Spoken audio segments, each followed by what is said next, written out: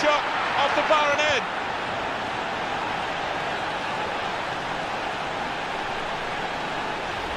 It's over the line, off the underside of the bar, goal! I think the keeper thought he might get a hand on this, but no chance in the end.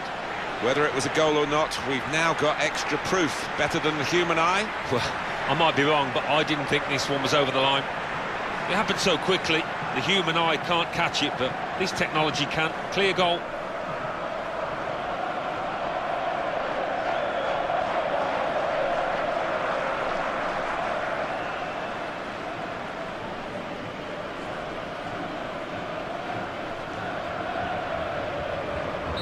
Very one-sided.